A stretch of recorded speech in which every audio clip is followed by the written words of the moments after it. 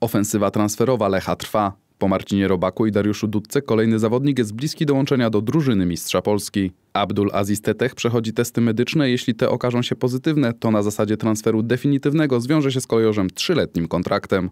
Ganijski pomocnik przez ostatnie 2,5 roku był zawodnikiem greckiego Platanias. Do Europy trafił jako 18-latek. W 2008 roku związał się z Udinese. Nigdy jednak nie zadebiutował w barwach włoskiej drużyny. Z Udinese przez cztery sezony był wypożyczany do klubów hiszpańskich. Rok spędził na zapleczu La Liga w Szerez, a następne trzy lata w trzeciej klasie rozgrywkowej, będąc kolejno zawodnikiem Granady, Leganies i Montanieros. W 2012 roku trafił do greckiego drugoligowca Fokikas, skąd po sześciu miesiącach przeniósł się do Platanias. Tetech na swoim koncie ma jeden występ w narodowym zespole Gany.